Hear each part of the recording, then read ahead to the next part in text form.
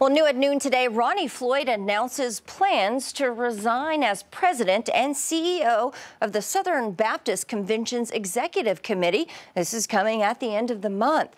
Now, in a statement, Floyd pointed to recent decisions related to third party investigations into how this committee handled sexual abuse reports. On October 5th, a divided executive committee voted to waive its attorney client privilege. Floyd served as senior pastor of Cross Church in our area for more than 30 years. He left to take on that role with SBC in April 2019.